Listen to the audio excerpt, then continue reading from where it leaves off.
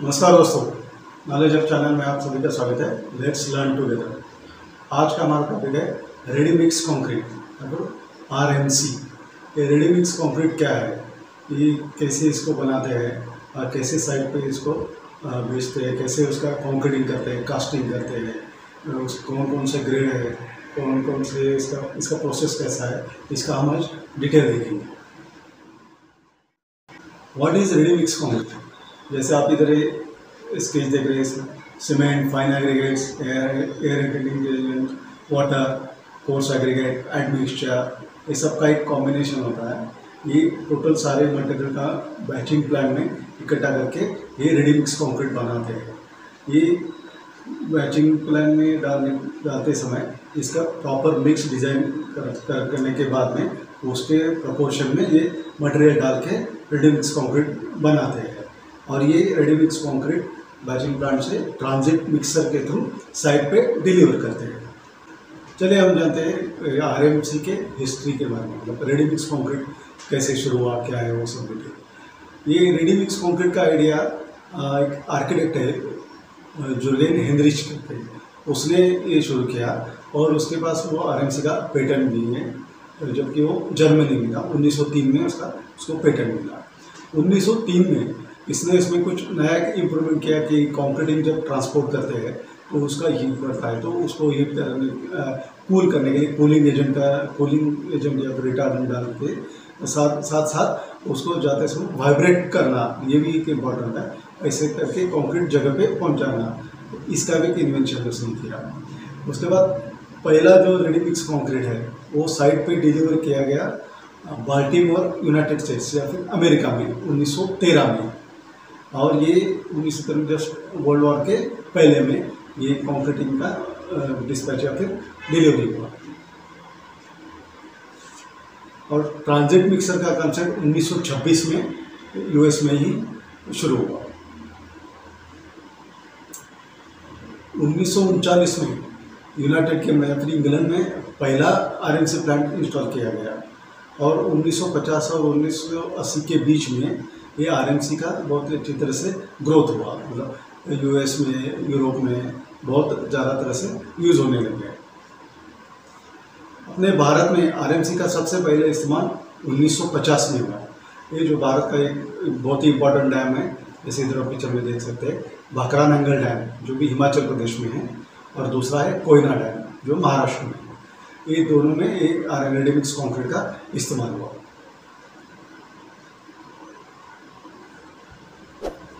अभी R M C concrete कहाँ use किया जाता है? आर एम सी कॉन्क्रीट एक जहाँ कस्टमर का रिक्वायरमेंट है, जो भी एक साइट पे एक सिंगल प्रोडक्ट की तरह उसको रिक्वायरमेंट है, उसको अलग अलग मटेरियल सीमेंट सैंड एग्रीगेट ये सब बिना मिलाए डायरेक्ट कॉन्क्रीट जिसको चाहिए, वहाँ आर का इस्तेमाल होता है। और रेडीमिक्स कॉन्क्रीट का ज़्यादातर इस्तेमाल बड़े बड़े कंस्ट्रक्शन प्रोजेक्ट्स में कि जहाँ कि वॉल्यूम पैचिंग या फिर वॉल्यूम मिक्स पॉसिबल नहीं है साइड पे कॉन्क्रीटिंग करना पॉसिबल नहीं है, इसका क्वांटम इतना ज़्यादा है कि वो उतना पॉसिबल साइड पे करना पॉसिबल नहीं है, वहाँ आर का इस्तेमाल होता है। और ये एक हाई क्वांटम होने की वजह से इसका डिमांड भी ज़्यादा रहता है। और उसका प्रोडक्शन जहाँ ज़्यादा ज़रूरत रिक्वायर प्रोडक्शन की भी ज़्यादा ज़रूरत होती है, वहीं रेडी मिक्स कॉन्क्रीट का ज़्यादा इस्तेमाल होता है। और रेडी मिक्स कॉन्क्रीट मेनली ये क्यूबिक मीटर में काउंट करते हैं मेजर करते हैं। इसका जो भी काउंटिंग है, पूरा मेज़रमेंट क्यूबिक मीटर में करते हैं। और इसका बैचिंग बैचिंग मिक्सिंग ये जो भी है बैचिंग प्लान में कर रहे हैं जैसे इधर आप साइड में देख रहे हैं और एक बैचिंग प्लान में करते समय इसका एकदम कंट्रोल्ड कंडीशन में या फिर जो भी डिज़ाइन मिक्स अप्रूव किया रहता है उसके हिसाब से इसका आ, मिक्स करते हैं। कंक्रीट का जो परफॉर्मेंस है उसके लिए कुछ एडमिक्सचर का भी डालना ज़रूरी है। जो भी एडमिक्सचर्स रहते हैं तो वो मेनली जैसे वाटर रिक्वायरमेंट रिड्यूस करने के लिए, या फिर एंटरटेनिंग एजेंट के लिए, उसके लिए, और एक कंक्रीट का सरफेस ड्यूरेबिलिटी इम्प्रूव करने के लिए ये एडमिक्सचर का इस्तेमाल होता है। अभी हम देखेंगे आरएमसी का जो प्रोसेस है, वो प्रोसेस कैसा है? इधर आप साइड में स्केचेस देख रहे हैं, ये पूरा एग्रीगेट्स है इधर ये एग्रीगेट्स वे हॉपर है, उसके बाद में ये ट्विन शार्प मिक्सचर है, इधर वाटर है, इधर सीमेंट वे हॉपर है, फिर ये सीमेंट सैलो है। कई कई जगह सीमेंट सैलो फ्लाई सैलो भी रहते हैं और इधर से ये पूरा मिक्स होके फिर इधर ये एडमिक्सचर है। एडमिक्सचर से ये यहाँ मिक्स होना मिक्स होता है। मिक्स होने के बाद में ट्रांजिट मिक्सर है। ये ट्रांजिट मिक्सर से साइड पे ट्रांसपोर्ट किया जाता है। तो प्रोसेस क्या है? मेनली जो एग्रीगेट्स है एग्रीगेट्स एक कॉन्क्रीट का बहुत ही बड़ा इंपॉर्टेंट पार्ट है। जिसमें almost more than sixty to seventy percent of volume ये सैंड ग्रेवल क्रस्ट स्टोन जो भी क्वेरी से आता है या फिर एग्रीगेट बैंक से आता है, वो मेन पार्ट है। इसमें के बाद में सॉलिड और लिक्विड एडिटिव जो भी रहते हैं, वो भी इंट्रोड्यूस किए जाते हैं रेडीमेड कॉन्क्रीट में। इसके बाद में जो भी इंग्रेडिएंट्स है कॉन्क्रीट मिक्सचर के, जो कई कई जगह दो ऑप्शन है, जैसे बिना पानी का जो भी combined using ready mix concrete batching plant में तैयार करते हैं इसमें ड्राई मिक्सचर तैयार करते हैं। ड्राई मिक्सचर करने के बाद में वो, ट्रांजिट मिक्सर या फिर ट्रांजिट ट्रक जो भी रहता है ट्रांसपोर्ट ट्रक उसमें वो मिक्सचर डालते हैं और उसके बाद में वहाँ पानी ऐड करते हैं। और दूसरा मेथड है जिसमें ये पूरा बैचिंग प्लांट में पानी भी पूरा बैचिंग प्लांट में मिक्स करने के बाद पूरा कंक्रीट रेडी होने के बाद में ट्रांजिट मिक्सर में डालते हैं। तो ये दूसरा टाइप का है।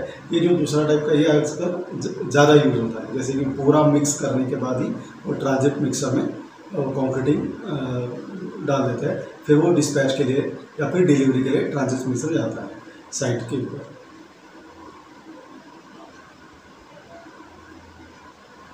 अभी जनरली कॉन्क्रीट बैचिंग प्लांट के दो टाइप के हैं। स्टेशनरी बैचिंग प्लांट और मोबाइल बैचिंग प्लांट तो जो स्टेशनरी बैचिंग प्लांट है उसका वो साइज़ जो भी है, वो मोबाइल बैचिंग प्लांट से ज़्यादा है। जैसे प्रोडक्शन अपना more than hundred cubic metre two hundred cubic metre ऐसा जहाँ प्रोडक्शन है, वहाँ स्टेशनरी बैचिंग प्लांट होता है।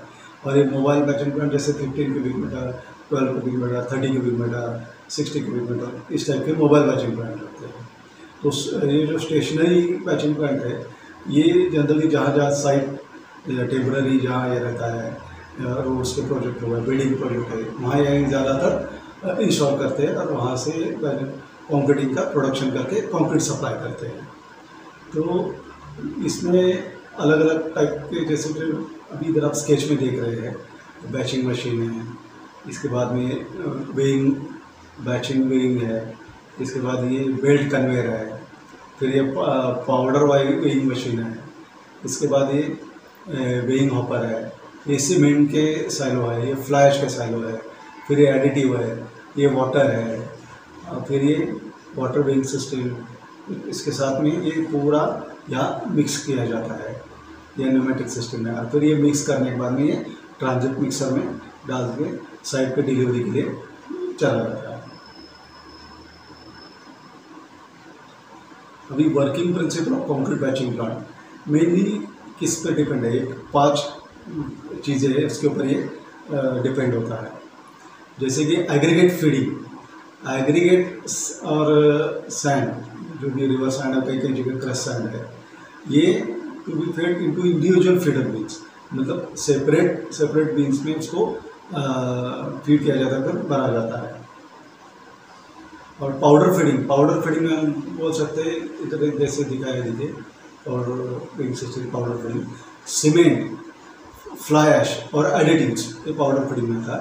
ये बहुत ही इंपॉर्टेंट कंपोनेंट है बाइंडिंग के लिए मटेरियल का बाइंडिंग के लिए, ये बहुत ही इंपॉर्टेंट मटेरियल है। उसके बाद water water mainly cement bind करने के लिए एग्रीगेट के साथ अदर सैंड के साथ इसके लिए ज़्यादा ज़रूरी है। और ये वाटर कितना डालना है, उस डिज़ाइन मिक्स के हिसाब से उसका प्रॉपर वॉल्यूम या फिर प्रॉपर जो भी लीटर्स है उतना क्वान्टिटी में वो रेडी मिक्स में पानी डालना रहता है स्टोरेज एंड कन्वेंस इसमें आप देखते हैं स्टोरेज एंड कन्वेंस जो भी सीमेंट फ्लाई ऐश कहाँ स्टोर करना, वो भी बहुत ही इंपॉर्टेंट है। तो इसमें बल्क में क्वांटिटी है तो आपको साइलो सीमेंट और फ्लैश के लिए साइलो चाहिए। और उसको साइलो के बाद से उसको मिक्स मिक्सिंग के लिए या फिर बैचिंग के लिए स्क्रू कन्वेयर वगैरह चाहिए। फिर उसको वेइंग हॉपर भी चाहिए वेइंग हॉपर के थ्रू इधर आप देख सकते हैं। वेइंग हॉपर भी चाहिए वेइंग हॉपर स्क्रू कन्वेयर से वेइंग हॉपर में भेजना है और प्रॉपर वे करके उसको मिक्सिंग के लिए भेजना है। कंट्रोल सिस्टम ये जो भी टोटल बैचिंग मिक्सिंग जो भी सिस्टम है, ये पूरा एकदम क्रिटिकल है और इसके लिए एक एडवांस मशीनरी भी आती है। ये पूरा कंप्यूटराइज कंट्रोल करना रहता है। बैचिंग पैन में एक कंट्रोल रूम रहता है। वो कंट्रोल रूम में पूरा उसका मिक्सिंग बैचिंग कंट्रोल करते हैं। और इससे ये जो ऑपरेशन है, वो एकदम फास्ट और एक्यूरेट रहता है। इसमें एक्यूरेटी ज़्यादा रहती है तो जो भी mixing proper as per design mix होता है। कॉन्क्रीट बैचिंग प्लान प्रोसेस ऐसे स्टार्ट होता है। ये जो एग्रीगेट है एग्रीगेट फीडिंग से ये शुरू होता है। और ये एग्रीगेट फीडिंग करते समय अलग अलग साइज़ से, जैसे ten M M twenty M M जो भी रिक्वायर्ड एग्रीगेट है, वो उसको अलग अलग बीच में डालते हैं। और डालने के बाद में उसको एक वे करते हैं मतलब वज़न करते हैं उसका, कितना रिक्वायर्ड डिज़ाइन मिक्स के हिसाब से उसको वज़न करते हैं, उसको कंट्रोल पैनल से चेक करते हैं।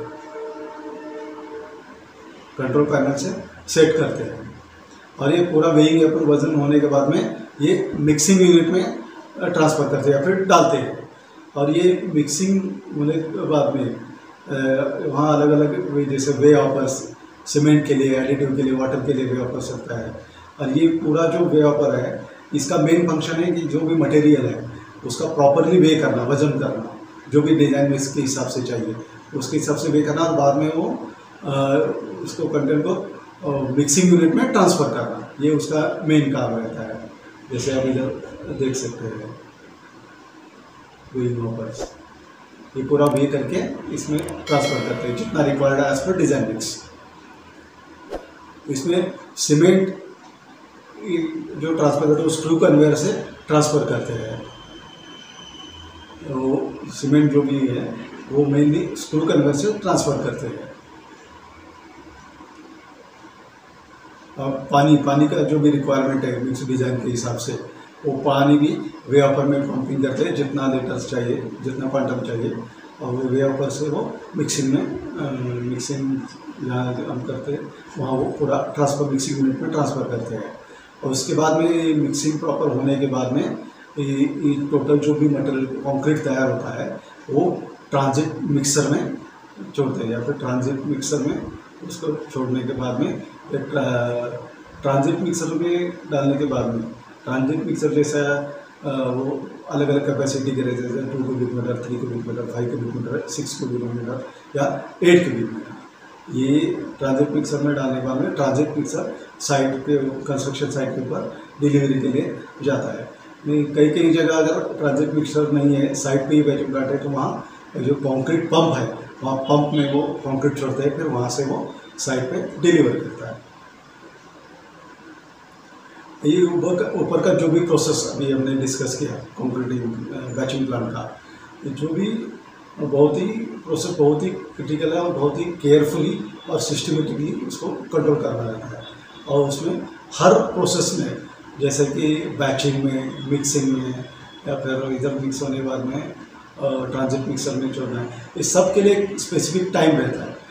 इतना टाइम में उतना एक्टिविटी होना है, वो टाइम फ्रेम में। और ये टाइम फ्रेम जब स्टार्ट होता है, जब मटेरियल का वेइंग होता है या फिर वज़न होता है एग्रीगेट्स का तो वहाँ से शुरू होकर ये रेडी मिक्स मटेरियल तैयार होने तक, जो कि ये पूरा बैचिंग टाइम कंसिडर करते हैं।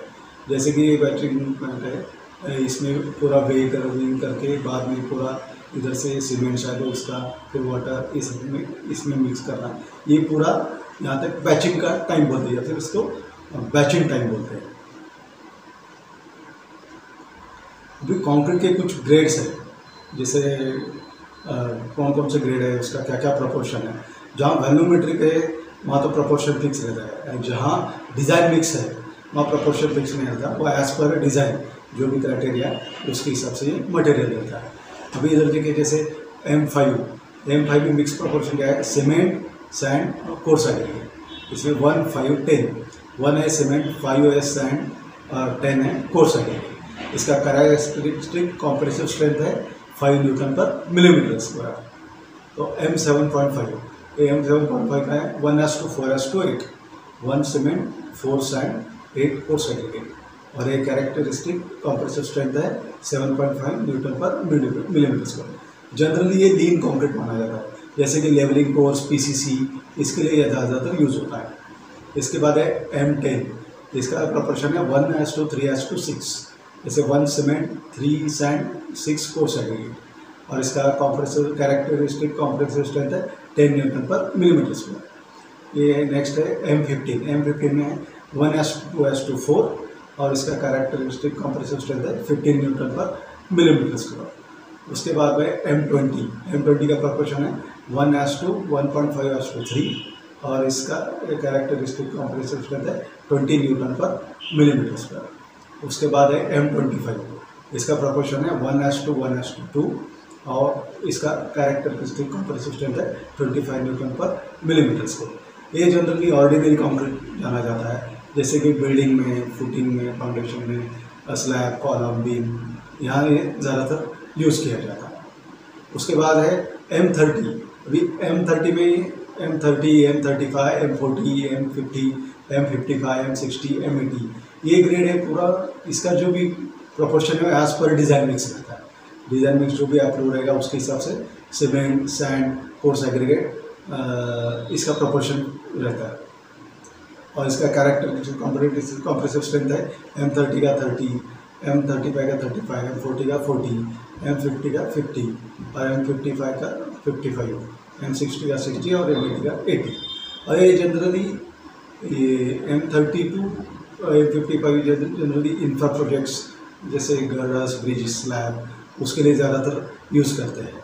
और ये स्टैंडर्ड कंक्रीट जानते हैं, जैसे कि इंफ्रा में ज़्यादा हेवी लोड वगैरह है, वहाँ यूज़ करते हैं।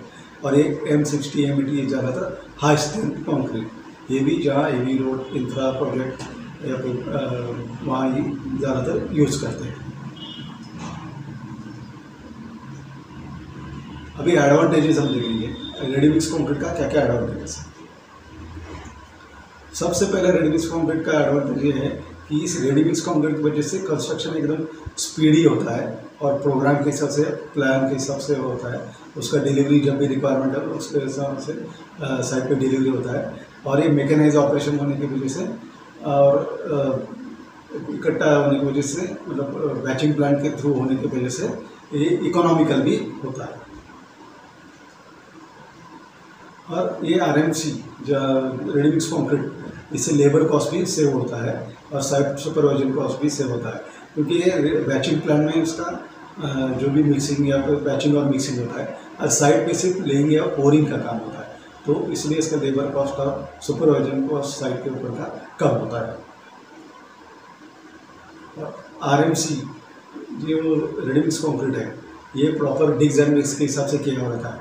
इसलिए इसका क्वालिटी भी अच्छा रहता है कंसिस्टेंसी अच्छा रहता है। और ज़्यादा एक्यूरेसी और कंप्यूटराइज कंट्रोल होने की वजह से एग्रीगेट सैंड और वाटर मिक्स डिज़ाइन ये सब प्रॉपर होने की वजह से क्वालिटी ऑफ़ कॉन्क्रीट अच्छा मिलता है। उसके बाद ही उसकी अच्छी स्ट्रेंथ भी आती है। Production of R M C R M C का जो भी प्रोडक्शन होता है, उसके लिए, उसकी वजह से सीमेंट का जो भी वेस्टेज होता है, जैसे वॉल्यूमेट्रिक में कभी कभी वेस्टेज होता है, ये वेस्टेज कम होता है। बैचिंग प्लांट में करने रेडी मिक्स कॉन्क्रीट करने की वजह से सीमेंट का वेस्टेज कम होता है, क्योंकि यहाँ सीमेंट का हैंडलिंग बल्क हैंडलिंग होता है, जैसे साइलो से सीमेंट हम बैचिंग के लिए या फिर मिक्सिंग के लिए छोड़ते हैं। और ये आरएमसी का जो भी प्रोडक्शन है, ये जनरली पोल्यूशन फ्री रहता है। और आर की वजह से प्रोजेक्ट का टाइम भी हम कम कर सकते हैं, जैसे टोटल कॉन्क्रीटिंग जितना लगने वाला है बाहर से मंगाएँगे, जो भी बैचिंग का सेटअप करेंगे तो जल्दी कॉन्क्रीट का प्रोडक्शन होकर जितना रिक्वायर्ड टाइम में कॉन्क्रीट आएगा, और उसके हिसाब से अपना प्रोजेक्ट का टाइम भी सेव हो जाएगा, और हर तरह से इकोनॉमी के लिए भी हो जाएगा और ये सातवां पॉइंट है प्रॉपर कंट्रोल ऑन इकोनॉमी को यूज़ ऑफ़ रॉ मटेरियल ये जो भी रॉ मटेरियल है, उसका प्रॉपर कंट्रोल करके, जो भी डिज़ाइन में हिसाब से हम मटेरियल यूज़ करते हैं, या फिर वे करके उसको यूज़ करते हैं, उसकी वजह से और वो इकोनॉमी की वजह से, ये रॉ मटेरियल हैंडलिंग करने की वजह से नेचुरल सोर्स नेचुरल रिसोर्सेज जो भी है उसमें सेविंग हो सकता है। या फिर मतलब रॉ मटेरियल का ज़्यादा वेस्टेज नहीं होता। डिसएडवांटेज देखेंगे आप अभी सबसे बड़ा डिसएडवांटेज है, ये बैचिंग प्लांट जो भी है, वो सेंट्रल प्लांट रहता है। अभी कभी कभी ये मिक्सिंग कहाँ जब शुरू होता है और मिक्सिंग करने के बाद में अगर कंस्ट्रक्शन साइट अगर दूर है ट्रैवलिंग टाइम अगर ज़्यादा है तो वो प्लांट से साइट पर जाने के लिए बहुत टाइम लगता है। तो ये टाइम लगने की वजह से अगर ज़्यादा टाइम लगा तो जो भी R M C ready mix concrete है, वो कभी कभी अनयूजेबल या फिर ख़राब हो जाता है, उसका क्वालिटी घट क्वालिटी घट जाता है, और वो सेट होने के ज़्यादा चांसेस है तो इसलिए उसको ज़्यादा डिस्टेंस होने की वजह से उसको यूज़ नहीं कर सकते।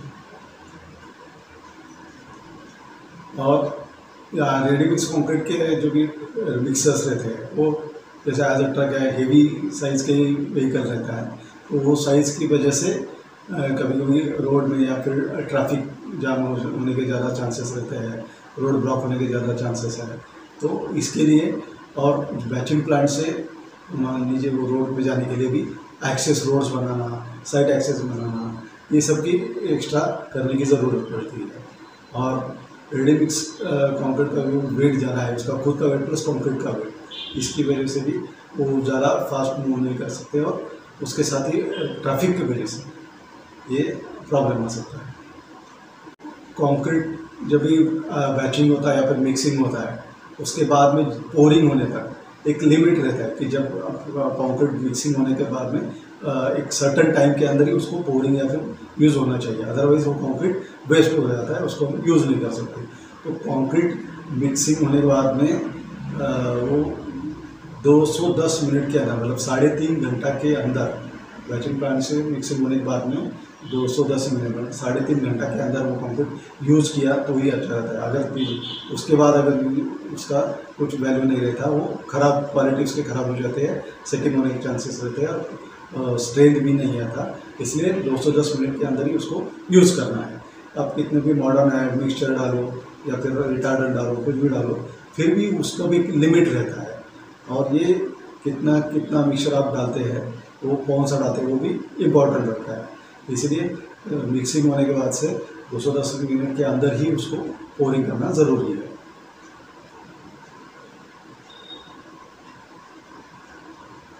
अभी हम देखेंगे ये जो ट्रांजिट मिक्सर है इधर आप पिक्चर में देख सकते हैं ये ट्रांजिट मिक्सर इसमें एक इस टाइप का एक ये रहता है मिक्सिंग वॉल्यूमेट्रिक मिक्सर घुमाने वाला एक ऐसा स्क्रू मिक्स मतलब ये जैसे रोटेट इधर पिक्चर में दिया ऐसे कंटिन्यूस रोटेट रहता है। ये मेनली सिंपल आर्किमिक्स को, को मिक्स उसके हिसाब से मतलब कि कंटिन्यूस मिक्स होने की वजह से जैसे भी बैचिंग प्लांट से मिक्सिंग होने के बाद में इसमें कॉन्क्रीट आता है तो ये सेट होने का ज़्यादा ये रहता है, इसलिए एक जगह ना रहे कंटिन्यूस ये घूमता रहता है वाइब्रेट होता रहता है, ताकि कॉन्क्रीटिंग साइड पे डिलीवर होने तक उसका क्वांटिटी और उसका जो भी ड्यूरेबिलिटी उसका कंसिस्टेंसी बनी रहे। तो इसके लिए ये, इसका बहुत ही इम्पोर्टेंट रोल होता है। अभी भारत में आर की बहुत अभी आजकल यूज़ हो रहा है। एक कुछ टॉप कंपनीज़ हैं जो आर को प्रोवाइड करती है, वो हम देखेंगे।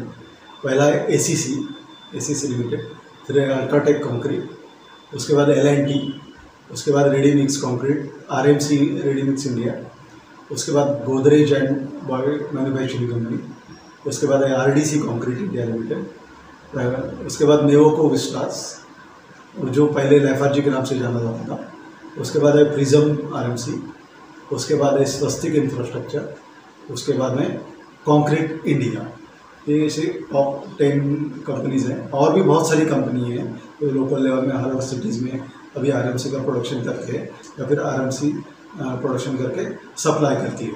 अभी आजकल भारत में आरएमसी का बहुत ज़्यादा इस्तेमाल होने लगा है। जैसे कि बड़े बड़े highway projects infra projects dams या फिर बिल्डिंग प्रोजेक्ट्स में भी आरएमसी का बहुत ज़्यादा इस्तेमाल होता है। तो दोस्तों, ये रहा अपना आज का रेडिंग्स कॉन्क्रीट का टॉपिक आज का वीडियो आपको कैसे लगा, ज़रूर कमेंट कीजिए अगर आप पहली बार मेरा चैनल देख रहे हैं तो ज़रूर सब्सक्राइब कीजिए और साइड का बेल आइकन प्रेस कीजिए, ताकि आने वाले सारे वीडियोस का नोटिफिकेशन आपको मिल सके।